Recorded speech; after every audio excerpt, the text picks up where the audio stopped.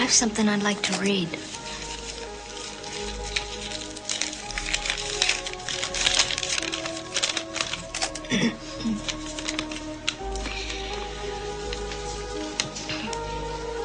it would be easy for me to say I despised every memory of him.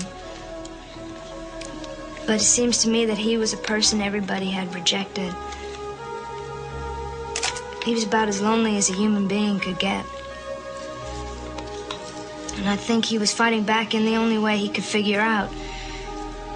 Trying to capture by force the human companionship he couldn't get any other way. I just happened to be the one he caught.